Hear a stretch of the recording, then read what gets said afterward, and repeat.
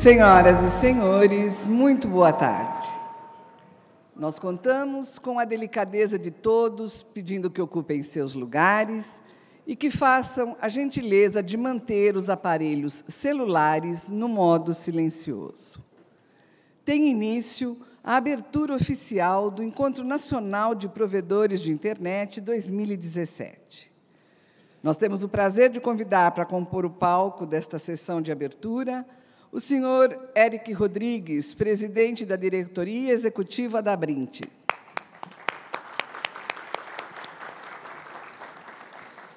Neste momento, o presidente da Brint tem a honra de receber para compor este palco o senhor André Borges, secretário de Telecomunicações do Ministério da Ciência, Tecnologia, Inovação e Comunicações, neste ato representando o excelentíssimo senhor Gilberto Kassab, ministro de Estado da Ciência, Tecnologia, Inovação e Comunicações.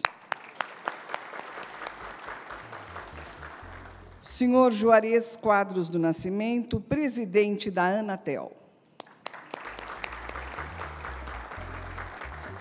Senhor Márcio Girão, diretor de inovação da FINEP. O senhor Demi Getesco, membro do Comitê Gestor da Internet no Brasil.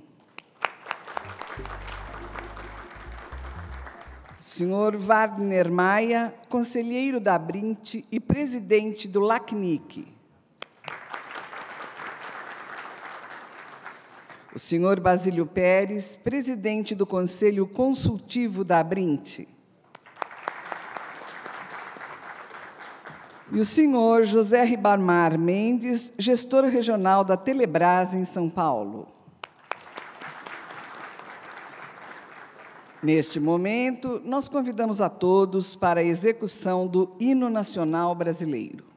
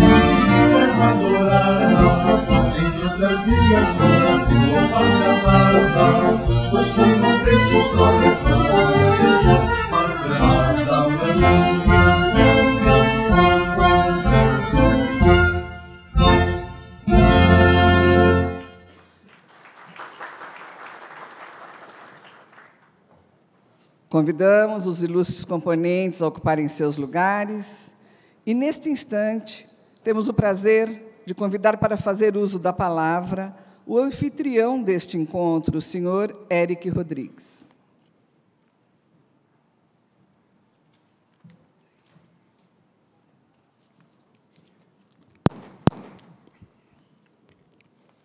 Boa tarde a todos. Esse começar a nossa abertura com esse, essa, essa entoação, a, esse, essa provocação à brasilidade, né, no, no, auditório que nós temos tanto, gente de tantos lugares do país. Eu acho que esse ensino tem tudo a ver. Parabéns aí pela, pela escolha. Eu gostaria de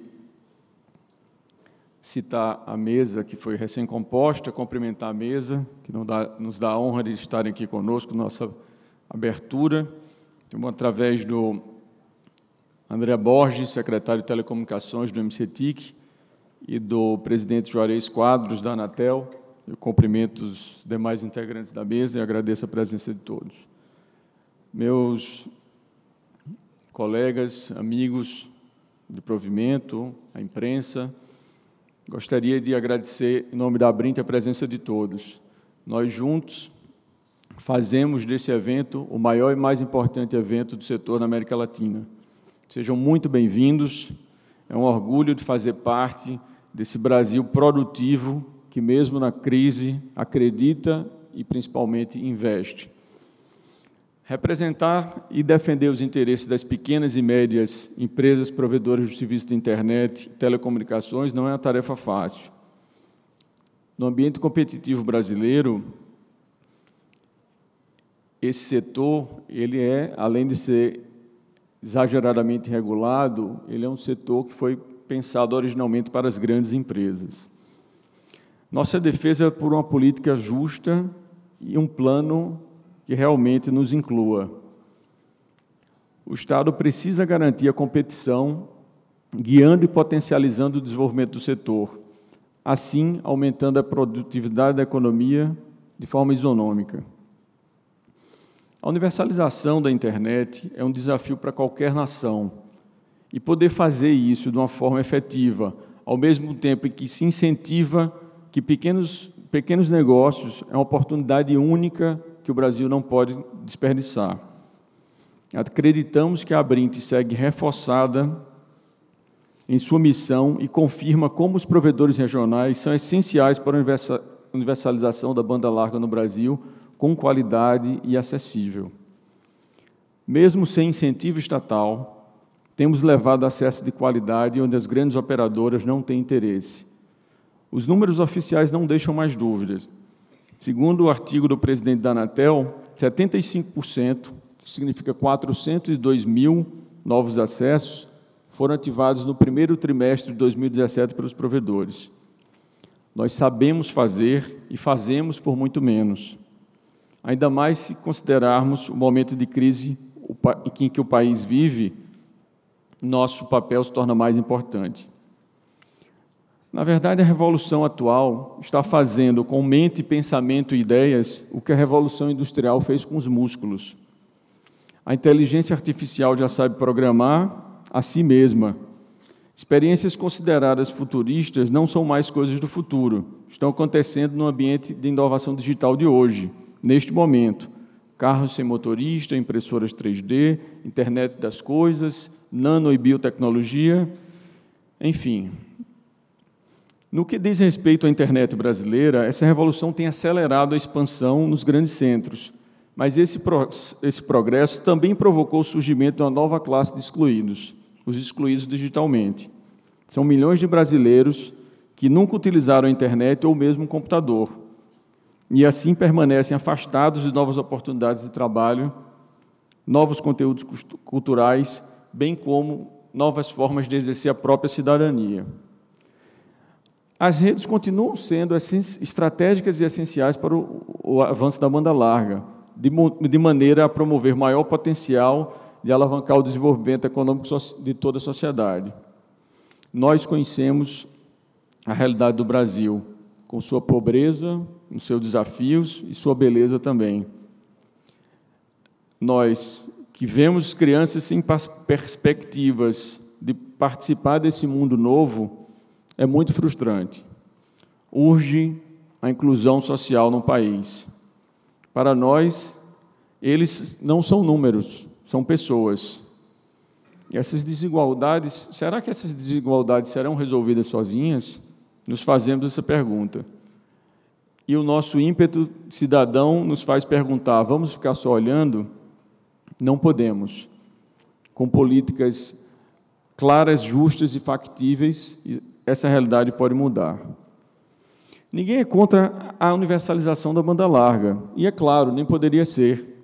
Esse é o caminho. Mas pedimos atenção e transparência na, na definição de políticas, sob pena de, de comprometer os pilares da competição não dependemos de, das políticas macro do governo, mas naturalmente elas nos impactam. Queremos ser vistos como uma real alternativa. Fornecedores, imprensa, focam nos provedores e em seu crescimento. Os números oficiais também mostram isso. Então, diante dessa participação, ficam as seguintes perguntas. O PLC 79 e os termos de ajustamentos de conduta da Anatel são os únicos recursos que se dispõem para se massificar a banda larga, os dois não podem aceitar compensações com a implantação de banda larga onde já existe. O dinheiro público não pode ser desperdiçado. Ainda nos perguntamos: os táxis não poderiam prever um percentual mínimo para alimentar um fundo garantidor, o famoso fundo garantidor? Na, na, na casa de bilhões, mesmo 5% já, já, já resolveria o aporte ao fundo, tendo talvez um maior impacto através desses 5% com os provedores do que o valor total.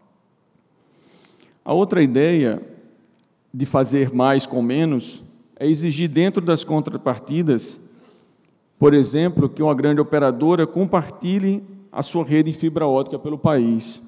O impacto seria imediato a fibra tem muita capacidade ociosa e poderia ser utilizada para potencializar a construção de pontos de troca de tráfego. Além disso, nesse momento de repensar o FUST, não se pode prever o fundo garantidor como um dos principais usos do FUST? Outra questão: dá para acreditar numa nova fase do SNOA e da entidade supervisora com efetivos instrumentos de garantia da competição e reais e justas ofertas de referências, temos a expectativa que se efetivem no novo Plano Geral de Metas de, de Competição. Como notar maior agilidade à Anatel na resolução de conflitos, sobretudo quando também envolve as concessionárias de distribuição de energia? Ainda não conseguimos que o preço de referência seja efetivado em casos de conflitos e pagar 12 vezes mais do que as grandes operadoras, pelo ponto de fixação, criam forte desequilíbrio na competição. É uma assimetria ao inverso o que nós vemos. Como país, já percebemos que essa universalização não será feita por três ou quatro empresas. E a recuperação judicial da maior empresa comprova isso. É preciso criar condições para que as empresas dos mais diversos portes possam competir em condições isonômicas. Além disso, ainda temos o problema tributário. Quando a empresa deixa de ser enquadrada no Simples Nacional, a cobrança de CMS passa de no máximo 4% dentro do Simples para até 27% em alguns casos, 25% aqui em São Paulo. Baixando o lucro, de, segundo o nosso estudo, baixando o lucro de aproximadamente 20% para 7%, 7,5% ao, ao, a, de, sobre o investido, equivalente simplesmente à correção da inflação. essa margem impossibilita a existência dos nossos negócios. Os estados ainda tentam insistir nessa modalidade, mesmo com a decisão do STJ contrária. Bem, nesse, nesse cenário de limitação dos recursos, cresce a importância do trabalho em que os provedores regionais têm feito por Brasil afora. Levando fibra ótica até a casa dos brasileiros, os provedores continuam sendo responsáveis pelo grande crescimento da, banda, da base de usuários de banda larga fixa no Brasil. Já somos líderes em 1.241 pequenas e médias cidades. E nunca é demais lembrar que nós é possível levar a internet para 6 milhões de domicílios com a solução de fibra ótica e FTTH, através de forma eficaz e rápida, através da criação do Fundo Garantidor. Esse projeto já foi apresentado de forma detalhada em janeiro de 2014 ao antigo Ministério das Comunicações, já passou por, pelo Ministério do Planejamento, já passou pela Casa Civil, e, na verdade, faltava a criação do fundo, o que não é mais necessário pela possibilidade de usar um fundo existente, o FGIE. O que falta agora é que é lastrear o fundo e efetivar o uso pelos provedores. Utilizar o fundo para expandir o acesso à internet é a alternativa que apresenta a melhor relação entre investimento e resultado alcançado. Isso porque esses recursos não seriam utilizados para financiamento a fundo perdido, nem subsídio ao investimento privado. Então, pedimos ao MCTIC que encontre, fazemos o pedido aqui de público ao MCTIC que encontre meios para efetivar esse aporte, mesmo diante de tantas limitações orçamentárias conhecidas. Sobre o nosso encontro, não há muito a dizer. Ele deve ser vivido e explorado na riqueza da troca de experiências, na diversidade dos fornecedores, na intensidade das apresentações e na alegria do convívio que sempre existe entre nós. É muito conhecimento acumulado conjuntamente para ser trocado. Esse ano viemos com muito mais espaço, mais conforto e novas atividades acontecendo simultaneamente nesses três dias. É, o Encontro Nacional cresce a cada ano e um dos motivos para seu sucesso é que é um evento de uma associação. É um evento que pertence a todos nós. Ele não é um evento de uma entidade privada. O superávit do encontro é totalmente destinado ao, ca ao caixa da associação, que volta em benefício para os seus associados. Aproveito para registrar o meu agradecimento e a minha homenagem aos companheiros da comissão do Abrint 2017, em nome da, de toda a Brint, recebam nosso aplauso.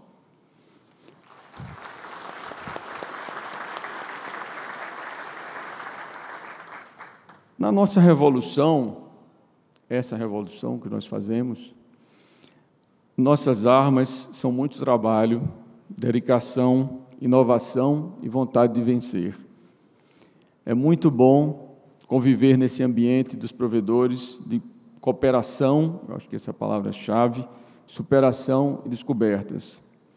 Amamos o que nós fazemos e é por isso que vale, a, vale cada dia e cada noite que nos dedicamos às nossas atividades.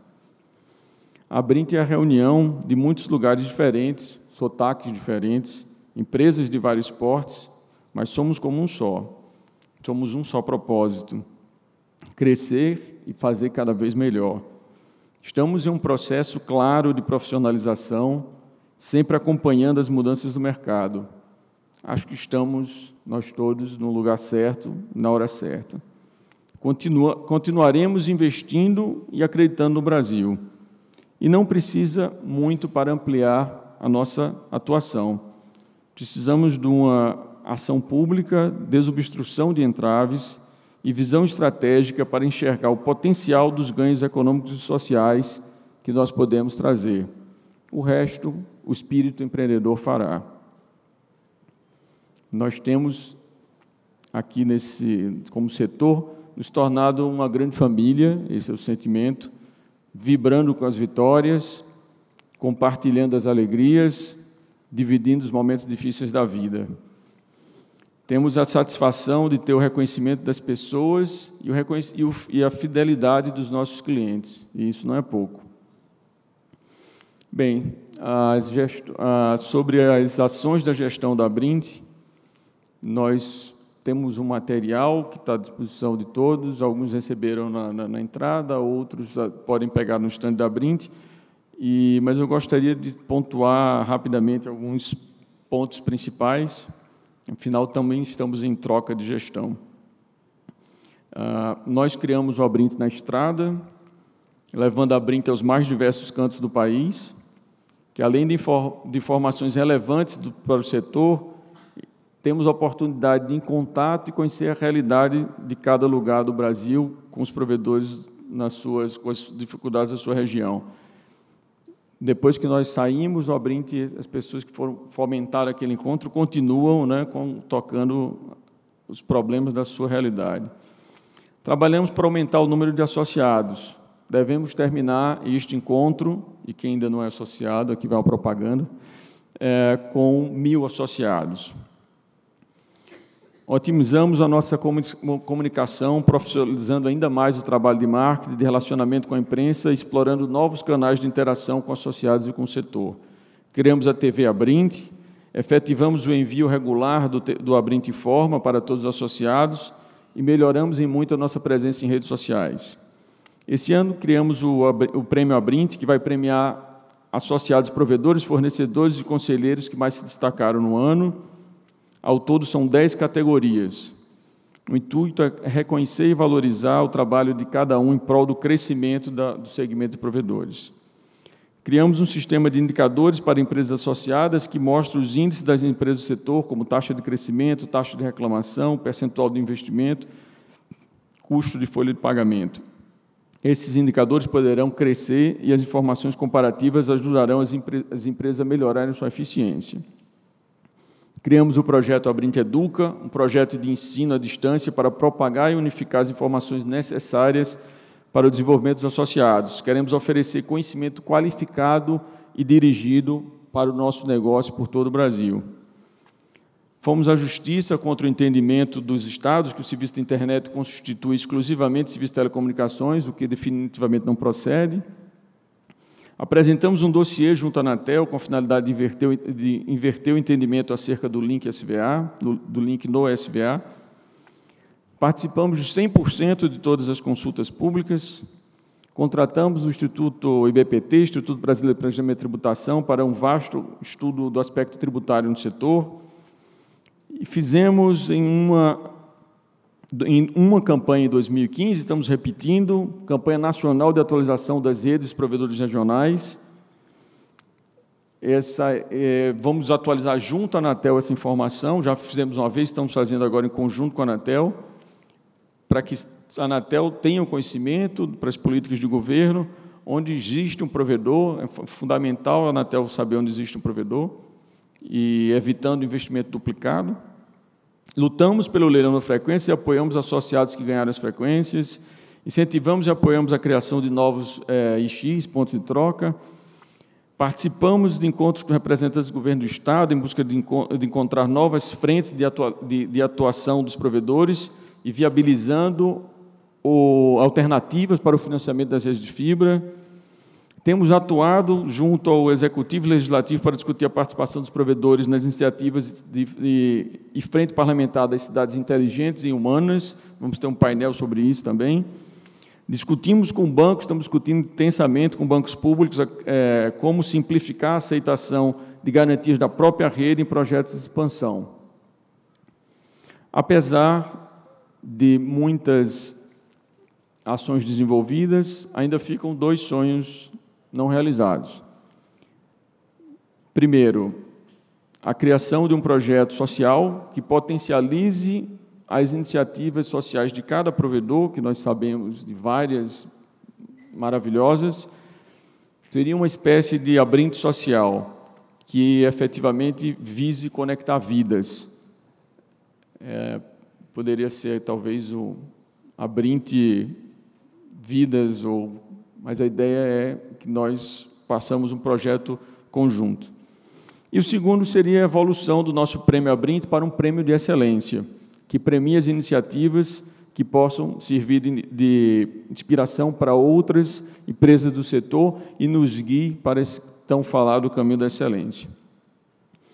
Termino essas palavras também terminando o meu período de dois anos como presidente. Não serei candidato à reeleição, hoje, hoje, hoje, hoje à noite, é, e saio com a certeza de ter sido sempre coerente e democrático, o que me enche de uma sensação de dever cumprido. Quero dizer que foi uma honra representar a classe nesse período, levarei essa experiência por toda a vida. Agradeço o apoio e a parceria da diretoria, do conselho, da equipe e de todos os associados. Ser inspirado, inspirar pessoas para sermos melhores, empresários mais competentes, é uma experiência muito marcante.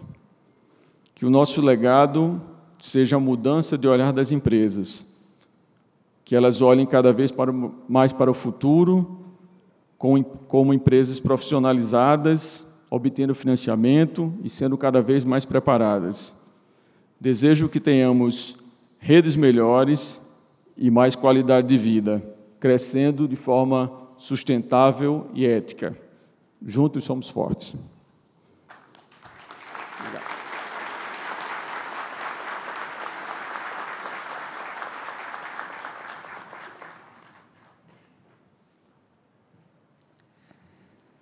Nesse instante, nós convidamos para fazer uso da palavra o senhor Demiguetisco.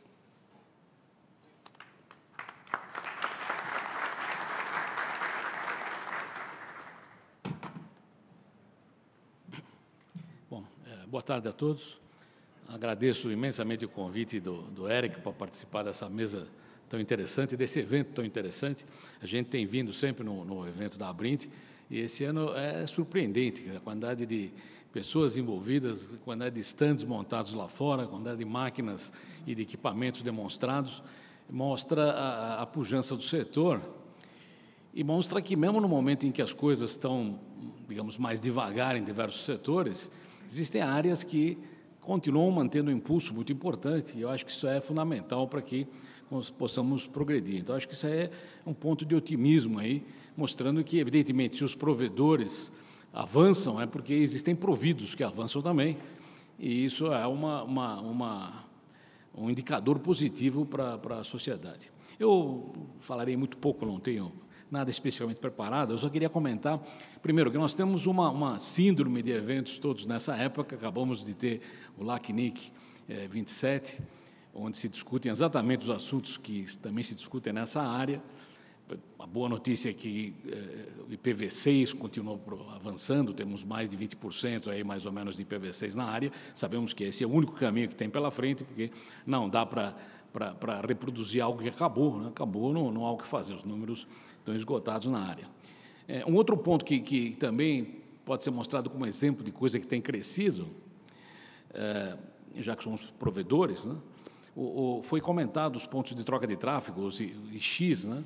O Brasil sempre teve uma participação boa na área, nós somos o quinto mundialmente, quarto, quinto mundialmente de, de, agregado de troca de tráfego e é algo que cresce cooperativamente. O pessoal gruda lá e troca tráfego porque acha que tem que colaborar e é bom para todos. Não é uma estrutura crítica, se aquilo não existir, funcionaria, mas funciona muito melhor com ele existindo. E, e o crescimento de tráfego nos pontos de troca de tráfego tem sido praticamente exponencial, tendendo a ficar linear, mas ainda exponencial.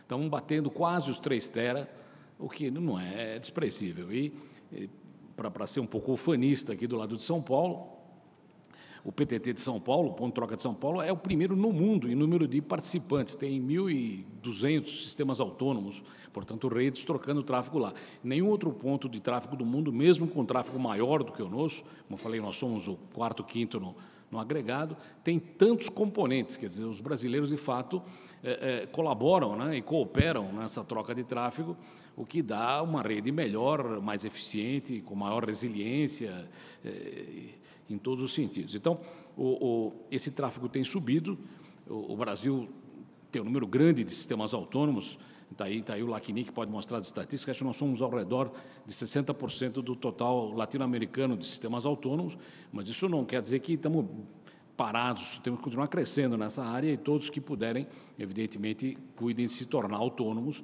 e, e poder tráfego, trocar tráfego nesse sentido aí. o, outros, outras resoluções que acontecem no LACNIC dependem da Assembleia Geral, dependem da discussão pública de políticas, e é importante que todos participem, porque o que for decidido lá vale de alguma forma para a região. Dizer, o Brasil é, é, é, é NIR, que é National Internet Register, nós distribuímos os IPs é, diretamente no país e os recebemos do LACNIC, e é importante manter é, todo mundo participando da discussão, para que as vozes sejam ouvidas e a política, de fato, reflita o que é o interesse geral, né? dos pequenos, dos grandes, de todos os provedores. O, então, para encerrar nessa área, acho que a internet é um exemplo fora da curva. E eh, esses dias estive viajando para Brasília e tal, e no aeroporto comprei um livro que foi relançado, é a quinta edição do, do, de um livro de crônicas do Nelson Rodrigues, que ele chama Confissões, né? porque ele mais ou menos bio, autobiográfico. Né? E uma das coisas que ele fala lá, e fala mais de uma vez, é que o brasileiro tem muito baixa autoestima. Quer dizer, tirando futebol e carnaval, a gente não se considera é, muito valioso para nada. É a tal síndrome do cão vira-lata, que ele chama, síndrome do vira-lata. Né? E, e nós temos isso tão claro que até quando você tem uma coisa que é basicamente, tipicamente brasileira, que a gente chama de uma jabuticaba, né? Em geral, é, é, tem um contexto negativo. É uma jabuticaba. O que também não é correto, porque jabuticaba é um excelente fruto, não precisa ser um, é, um, um adjetivo pejorativo de algo. Então, eu queria dizer que, evidente que nós não, não, pretendemos ser melhores do que ninguém, coisa nenhuma, mas em algumas áreas acho que nós temos uma atuação que é considerada, de alguma forma, modelo. E acho que a internet é uma delas. Eu sou um dos 21 membros do Comitê Gestor. O Comitê Gestor é outro exemplo muito bom nessa área porque é, é multissetorial. Né? O BR, que aliás recomendo que todos registrem no BR, o nosso recurso vem do BR, o BR devolve para a internet pontos de troca de tráfego, estatísticas, eh, equipamentos, de, é, manuais de segurança, é, medição de banda larga, também tem ido muito bem. Então, eu acho que, mesmo em épocas de, de, de procelas, aí, de tempestades, eu acho que tem segmentos que continuam se comportando adequadamente e avançando. Esse é um deles e é realmente emocionante ver tanta gente reunida nessa sala por mais um evento. Então, eu desejo a todos um excelente evento e continuemos em frente aí. Obrigado.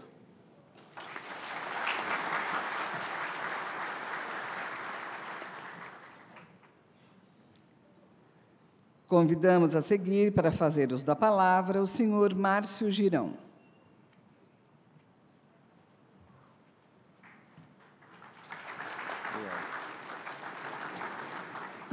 Bem, boa tarde a todos. É, em primeiro lugar, eu queria trazer aqui o abraço do nosso presidente Marcos Sintra, agradecendo o convite da FINEP poder estar nesse evento, não só nessa mesa, mas também apresentações ao longo desses dois dias. E, cumprimentando o André e o, e o Eric, na, cumprimento a mesa. É, a, é muito bom ouvir é, que a Brink, a Brint, né, teve um presidente de grandes realizações e que se transforma cada vez mais no, no quarto poder né, da, das telecomunicações brasileiras. Então é muito bom ter que ouvir, poder ouvir isso ao vivo. É, cumprimento também o André da FINEP, superintendente da FINEP, que está em algum lugar aí. É, e com isso eu cumprimento a todos, a, as pessoas, a todos os homens que estão aqui, cumprimentando a Joana, que, tá, que é gerente da FINEP, também tá, vai fazer apresentações para os senhores. Cumprimento as mulheres presentes. Aliás, falando em mulheres, foi muito, foi muito bom ouvir, ver, né, que a Brint está fazendo aqui a Câmara das Mulheres, né? A Brint Mulher. Nós, inclusive, vamos fazer uma apresentação dentro do programa da Câmara. E é importante num momento até que ontem, você veja, eu faço parte de uma geração que abraçou a campanha feminista das décadas de 60, 70 e daí em diante e, e por, porque, era, porque era justa. É lógico que a mulher hoje tem um papel, digamos, preponderante na sociedade, que merece, mas a gente ainda vê acontecerem coisas que, que parece que do século, não do século passado, do século atrasado, como atrasado foi a, começar essa, essa manifestação na, em Roland Garros ontem, né, em que um, um tenista agride uma jornalista quase que sexualmente, agarra, e ao vivo, né? E felizmente o, o comitê da, de Roland Garros baniu esse tenista da, da, do, do, torneio, acho que de Roland Garros para sempre. Então, é isso, isso mostra a pujança desse movimento feminista, porque quando há ainda agressões à mulher, elas são imediatamente rechaçadas pela sociedade. Isso é muito importante e eu acho que esse movimento da Câmara, ele também vem nesse encontro, né? vem ao encontro desse, desse movimento que não deve parar, porque, é, infelizmente, nós ainda precisamos desaculturar muita gente nesse aspecto. Né? Bem, mas eu vim aqui falar um pouco da FINEP e do que, que a gente tem feito né, em relação ao setor. A FINEP está tá completando 50 anos esse, esse ano. Acho que 26 de julho, de 50 anos atrás, foi fundada. Temos aí uma série de eventos que vamos fazer no país, inclusive dia 19, um evento importante, vocês vão, vão saber por que, ele é importante para o setor de vocês, no Museu da Manhã, no Rio de Janeiro.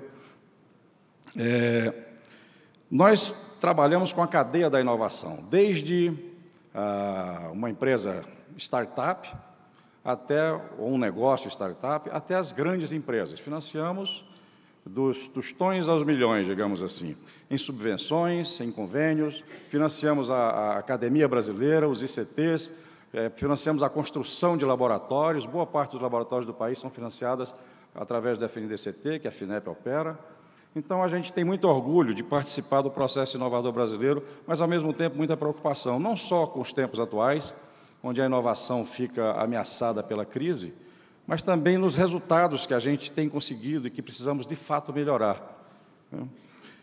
Então, é, nós, nós, atuamos em todas as ações estratégicas de, que dizem respeito à inovação. Essas ações envolvem, como eu falei, né, financiamentos e subvenções e crédito. Também estamos aqui na Abrint, né, que hoje é, tem uma, é, é, a instituição que tem a maior capilaridade na área de telecom no Brasil, acho que ocupa 93% ou 95% dos municípios, está em todos os estados brasileiros. Né, e, como eu falei, é a quarta, quarta empresa, se podemos chamar assim, né, presidente, do setor. E, e merece as reivindicações que estão sendo solicitadas aqui. Né. Estou conseguindo uma colinha aqui. Mas eu, eu vou falar de um, projeto que a gente está finalizando na FINEP. Como eu falei que a gente financia a cadeia, a gente financia até ontem, ou até hoje, ou até amanhã talvez, a cadeia de, de quem desenvolve inovação. Nós vamos ampliar essa cadeia agora. Nós vamos financiar quem compra a inovação.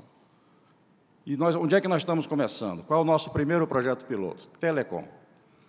Então, nós estamos, vamos lançar, dia 19, no Museu da Manhã, um programa para o setor de telecom, em que nós vamos financiar a compra de equipamentos que estão registrados na portaria 950 do MCTIC.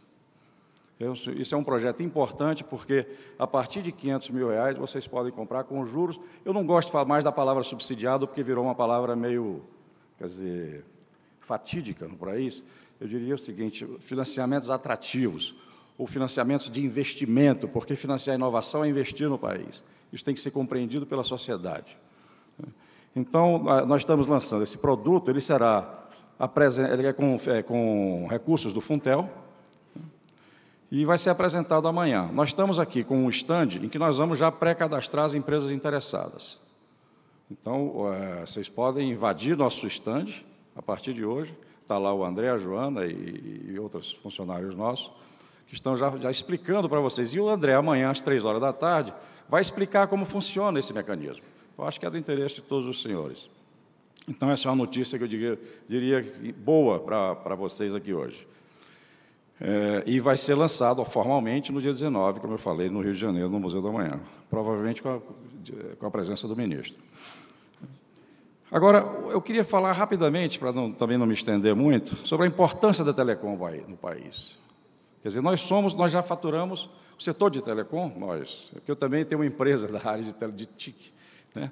Estou, por enquanto, na FINEP, mas venho do setor empresarial.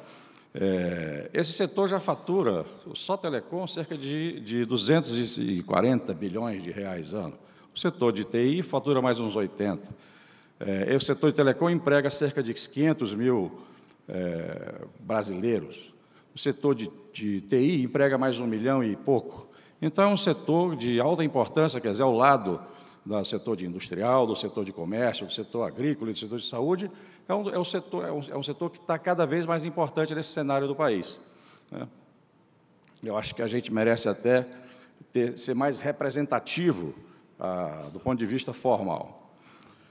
É, então, o, o, qual, qual, é a importância da telecom? Vou citar dois ou três para que a gente entenda o que, é que vem por aí. Essa revolução tecnológica que está vindo aí, que, é, que, vai, que já começou, que não só é manufatura avançada, com robôs, etc., robôs adaptativos, robôs que substituem completamente os operários, carros autônomos, é, a agricultura sendo controlada por drones e assim por diante, né? É, ela afeta a sociedade. E um dos pontos que ela afeta a sociedade, tem dois pontos que eu queria deixar registrado. Um é a inclusão digital. A inclusão digital é um termo que a gente ouve há anos, principalmente no Brasil, onde nós temos uma grande parcela da nossa população ainda completamente excluída, não é só digitalmente excluída, como um todo. Mas a digital é importante porque a, a gente achava que a incluído digitalmente você também incluía socialmente. Não aconteceu. Por quê? Porque a gente fica enterrando máquinas, máquinas e mais máquinas no processo. Nós temos que enterrar agora telecomunicações, máquinas e conteúdo digital. Então, essa nova revolução que a gente, a FINEP está trabalhando, inclusive, numa plataforma digital para conteúdo educacional brasileiro. De forma que, que, no momento em que nós tivermos toda a nossa sociedade, e isso vai acontecer, não tem jeito, com algum instrumento de, de que, que acesse conteúdo através das telecomunicações, ele possa ter uma criança carente, possa ter a mesma assistência de professores ou de, ou de qualidade de conteúdo que tem qualquer um dos filhos das famílias mais abastadas no país. Essa é a verdadeira revolução digital. A outra revolução é o que eu digo a revolução dos contratos sociais, que inclui a democracia.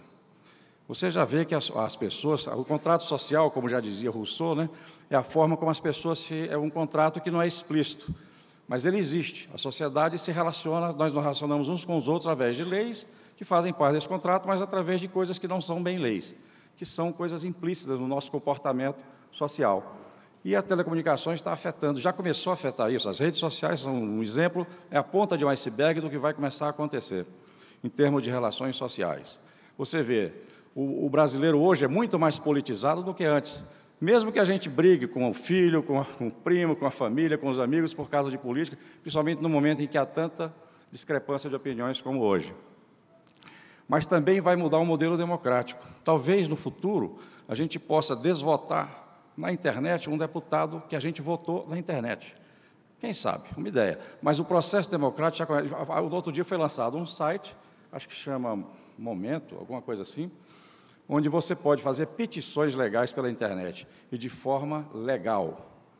Ou seja, ele usou o blockchain para garantir a assinatura. É um site bem interessante que já tem aí uns 500, 600 mil downloads no país.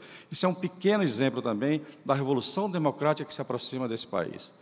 Através de quê? Das telecomunicações. Então, a revolução tecnológica em geral, ela tem como suporte as TICs. Então, somos nós aqui, vocês principalmente, que são, que são os, os principais atores, o suporte dessa revolução. Então, essa responsabilidade tem que ser assumida.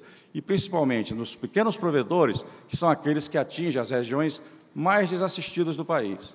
É onde mais precisa telecomunicações, onde mais precisa conteúdo digital para que eles possam se igualar aos, à, sociedade que vive nos centros urbanos mais importantes, onde isso já é, de, alguma forma, assistido.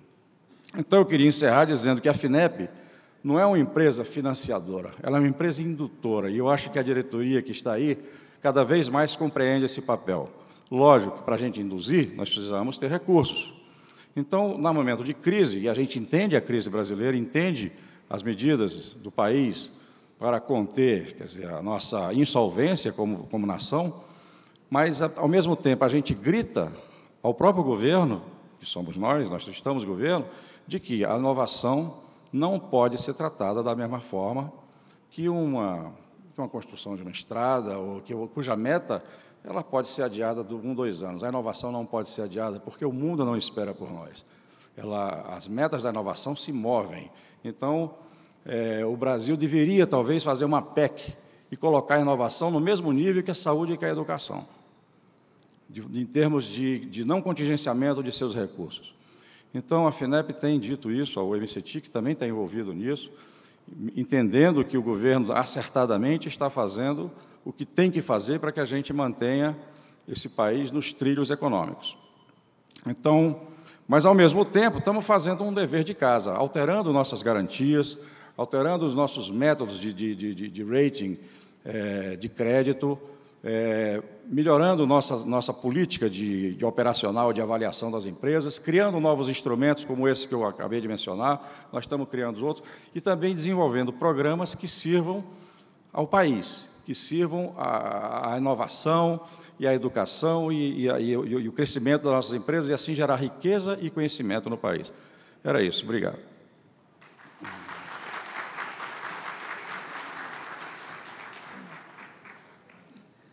Convidamos nesse instante para fazer uso da palavra o senhor Juarez Quadros do Nascimento.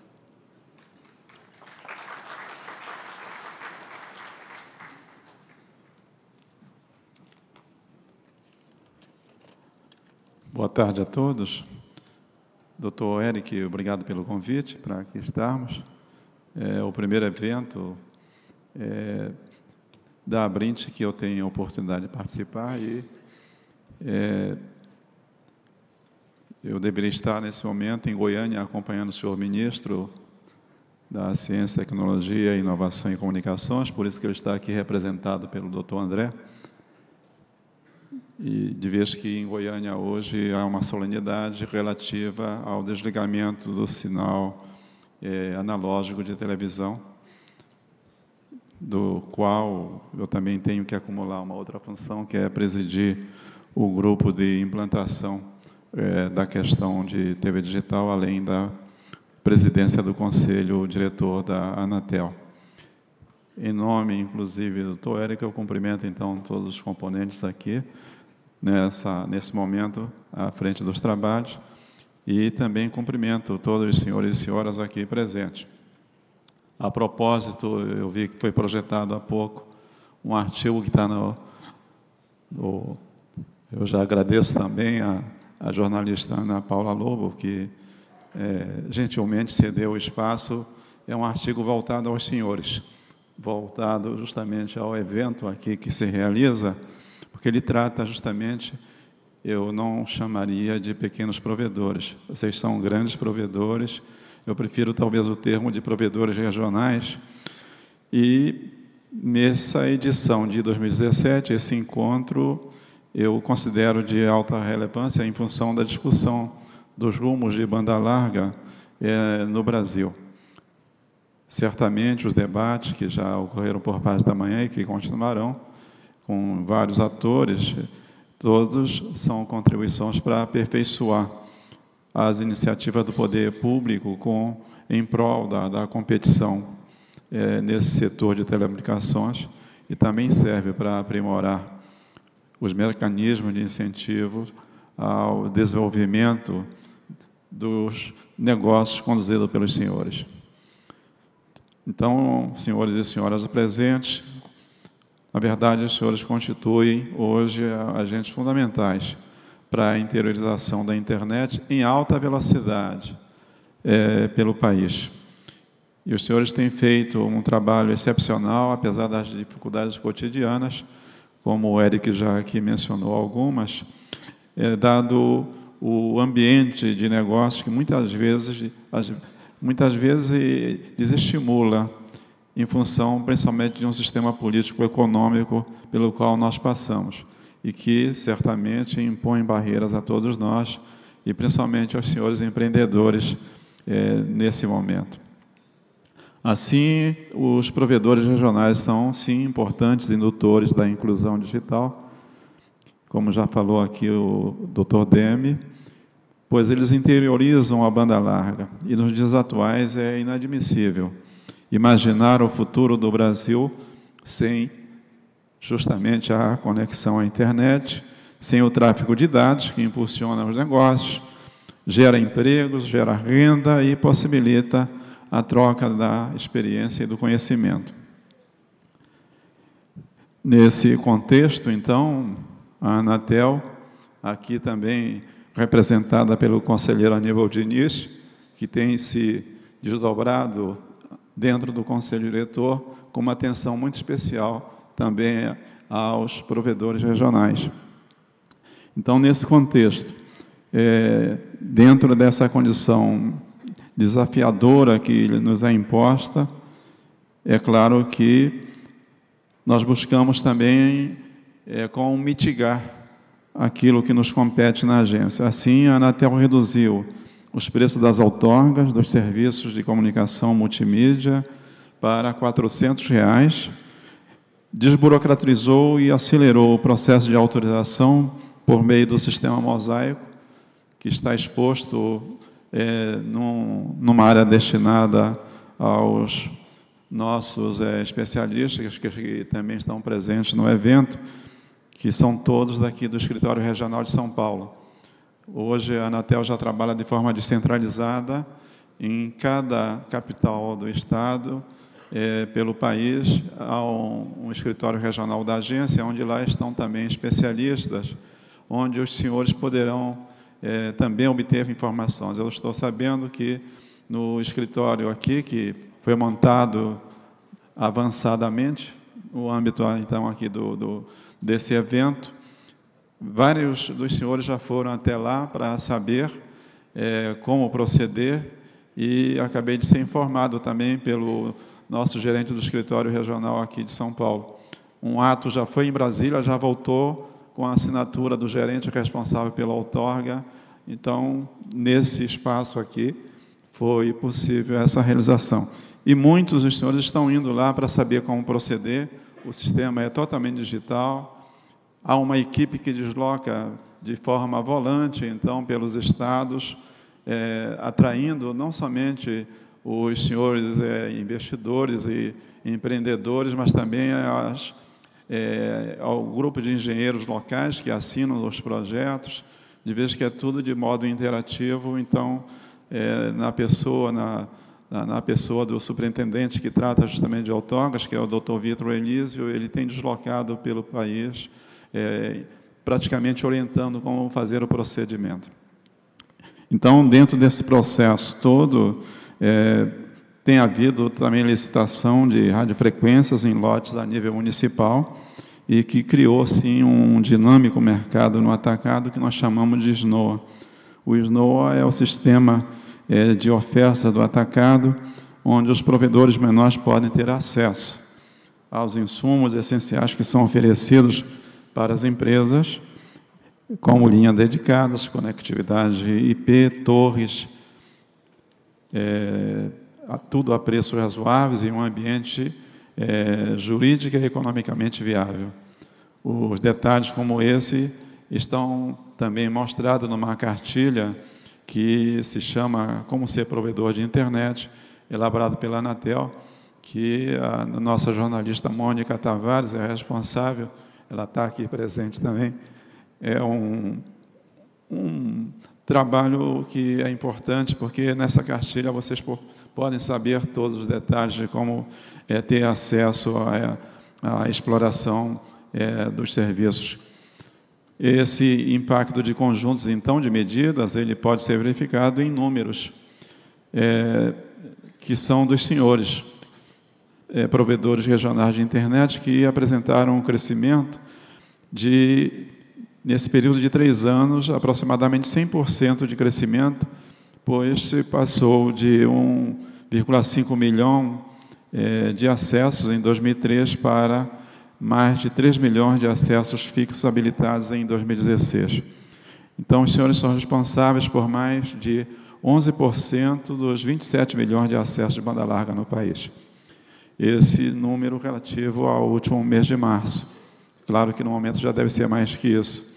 Então, dada essa importância, é, a agência também altamente conduzida aqui pela dedicação do, do conselheiro Aníbal, a, a criação de um comitê destinado exclusivamente aos senhores e senhoras, como provedores que são, e que também contará com a presença da Anatel e de outras entidades, de modo a melhorar a penetração do acesso à, à banda larga no país cuja densidade, no último mês de março, estava em apenas 40 é, acessos em cada 100 domicílios brasileiros. Isso é, é muito pouco, ou seja, ainda há uma demanda por não atender da ordem de 60% dos domicílios com, para acesso com a banda larga fixa. É, muito mais pode ser feito nesse sentido, é claro, mas eu, no artigo que a Ana Paula permitiu, hoje no site do Convergência Digital, eu falo mais a respeito, então é, eu finalizo, aproveitando aqui a oportunidade para informar que a Anatel, então, está presente aqui no evento, lá no, na, na nossa lojinha, vamos chamar assim, licenças SM estão disponíveis, a preços módicos e com pronto atendimento. O que demora mais é justamente a documentação que é necessária apresentar, ou seja, é o lado burocrático da coisa. Mas eu, assim, reafirmo aqui aos senhores e senhoras é, o compromisso de ouvir, como já ouvi, as reivindicações do Eric e certamente também de todos os presentes. Desejo, então, um encontro produtivo é, nesses dias de debate porque os senhores e senhoras também são muito importantes para o nosso setor. Muito obrigado.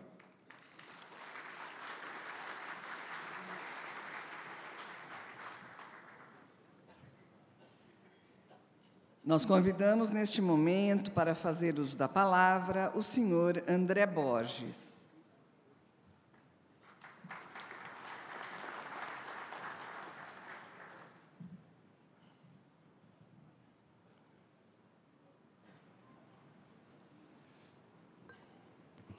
É, muito boa tarde a todos.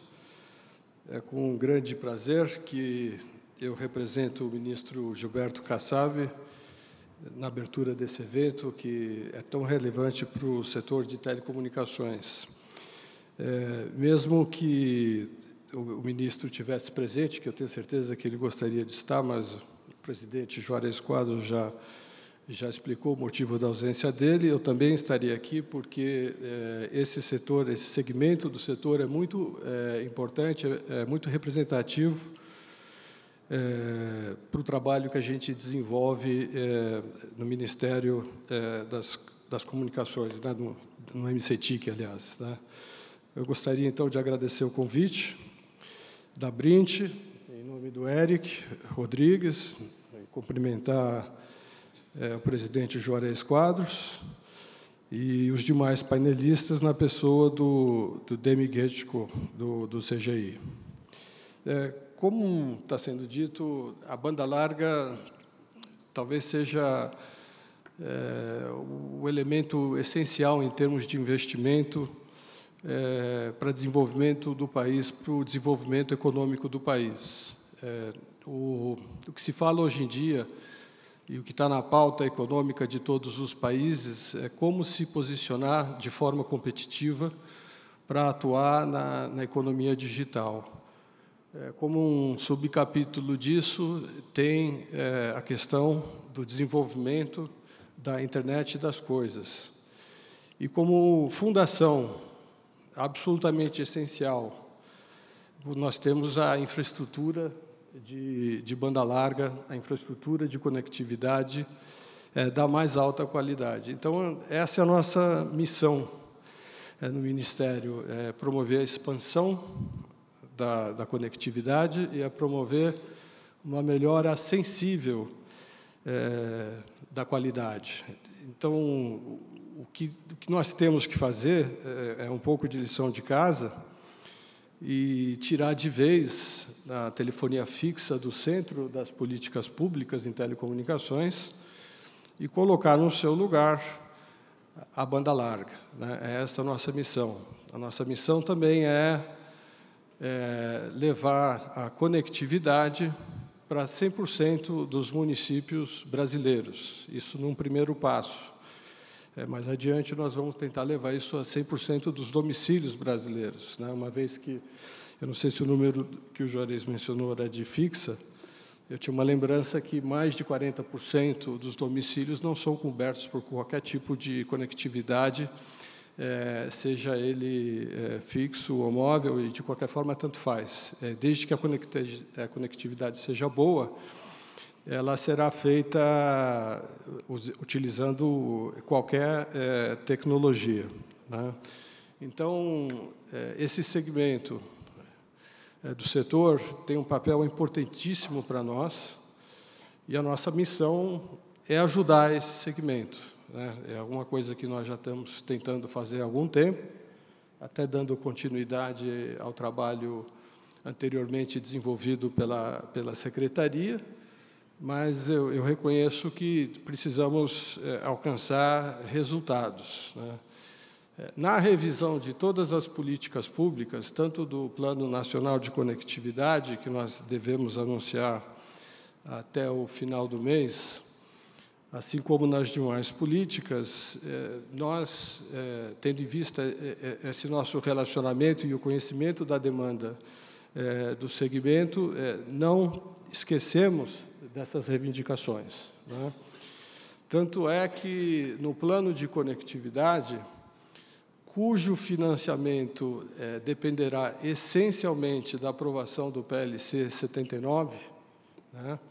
E aí não só de um eventual é, valor de adaptação que será devido pelas concessionárias que desejarem adaptar a sua outorga para uma autorização, mas também é, é, pelo preço público, pelos demais, pelas demais outorgas adquiridas junto à Anatel, nós teremos a, a fonte de, de, financiamento para o investimento nesses projetos. E, essencialmente, o, plano de conectividade é um plano de levar rede para onde não tem rede. É um plano para levar rede de transporte para a sede de todos os municípios do país.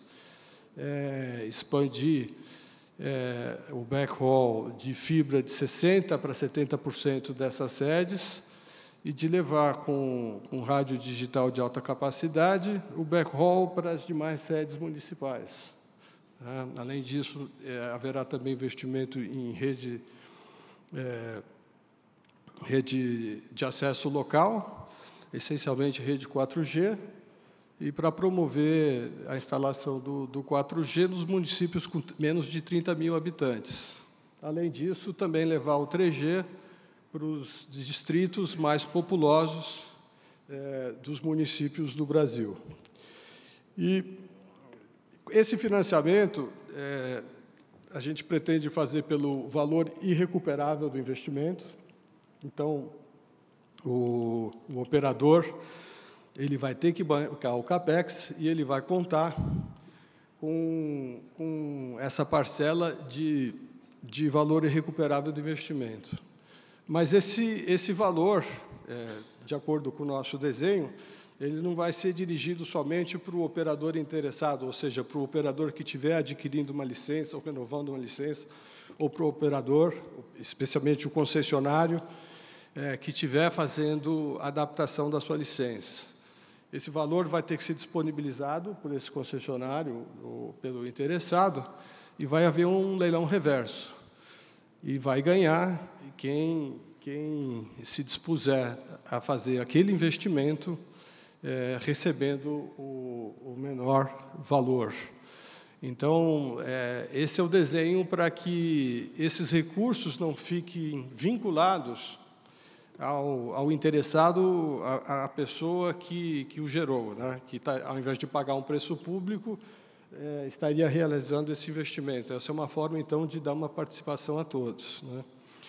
É, outro, outro projeto nosso é o projeto de, de cidades inteligentes, que eu acho que vocês conhecem, nem tanto no sentido que é divulgado de cidade inteligente, das aplicações para a gestão de, de, de, governo, de saúde, de trânsito, de segurança que é feito, mas é, desenvolvendo um projeto anterior é, do Ministério que, que implantava, que implanta, na verdade, uma infraestrutura de fibra que conecta os principais órgãos públicos né, e os principais é, serviços públicos prestados a uma população de município, né? além de agregar, então, essa camada de rede e camada de, de aplicativos. Né? É, o, nós estamos desenvolvendo uma estrutura de, de contratação é, em que toda a parte jurídica é desenvolvida, todo o modelo jurídico é desenvolvido pelo Ministério. A licitação é feita por nós, a contratação é feita com nosso apoio e a fiscalização é feita por nós. Mas também, nesse caso, o que se prevê é, com uma verba, fazer uma licitação para que qualquer operador interessado, seja ele grande ou seja ele regional, possa participar e, e não só entregar os serviços, né, instalar toda essa infraestrutura, como efetivamente prestar os serviços.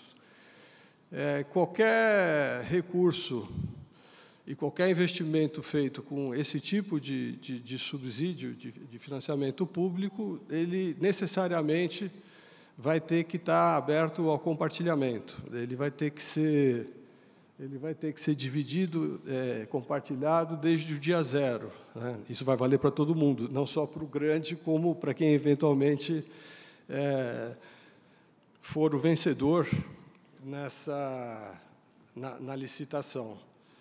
Então, é, contrário do que poderia parecer, é, na verdade, a aprovação do PLC é bastante importante, em especial é, para esse segmento. É bastante importante porque, é, por enquanto, e, e a, a curto e médio prazo, vai ser a única fonte de financiamento para essas políticas públicas. Nós vamos preparar um plano de conectividade, nós vamos estar apresentando, mas é um plano é bastante interessante, bastante relevante, mas sem um financiamento é, garantido. O financiamento virá do, do, do PLC 79, como, conforme eu já disse. Outro, outro financiamento é, importante virá da, da, revisão da lei do FUST. Já existe um, um projeto tramitando é, no Congresso, na, na, Câmara dos Deputados. É, ele, inclusive, está sendo está tramitando no regime é, urgentíssimo, né, de urgência, aliás, e nós pretendemos atuar é, com relação a esse projeto da mesma forma que atuamos com relação ao PLC, não só apoiando, como também oferecendo críticas aí é, construtivas, né, é, para que o projeto seja aperfeiçoado. E porque esse esse vai ser o, a fonte de, de, financiamento para as políticas públicas a médio e longo prazo. Né? Acho que o PLC é, vai ajudar é, na saída, mas a médio e longo prazo é, a revisão do FUST, da lei do FUST, é absolutamente essencial, em especial para, para promover o subsídio à demanda, né? que são os dois passos, levar a conectividade e fazer com que efetivamente todo mundo faça uso dela. Então, é, essa é a nossa missão. É, nós é, contamos com o apoio de vocês e esperamos é, poder ajudar é, de forma bastante significativa é, a atividade de vocês nesse desenvolvimento que nós estamos fazendo da conectividade no Brasil, que vai ser tão importante para a IoT, e para a implantação de uma economia digital competitiva em padrões mundiais. Muito obrigado.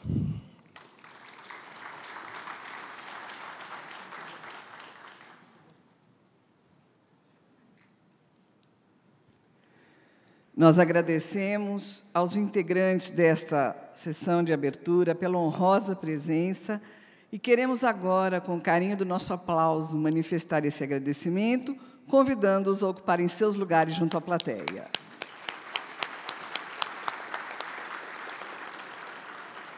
Neste instante, nós assistiremos o vídeo institucional da Abrinte.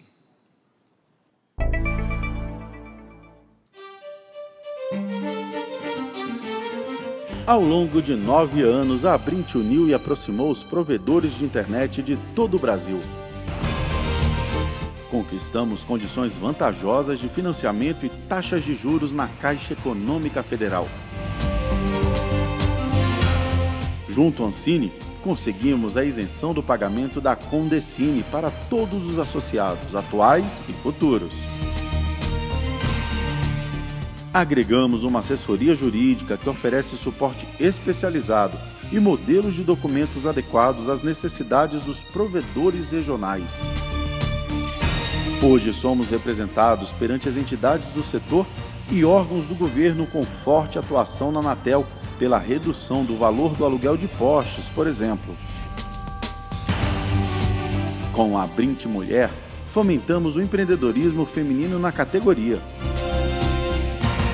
Vamos até os pequenos provedores do interior do Brasil que não podem estar conosco no evento nacional por meio do Abrinte na Estrada.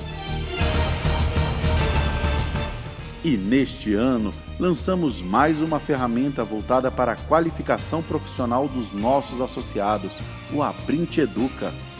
Uma plataforma online de treinamentos voltados para as áreas de gestão de negócios, marketing e atração e retenção de clientes. Com o seu apoio, construímos uma história de conquistas. Contamos com ele para continuarmos trilhando um caminho de sucesso.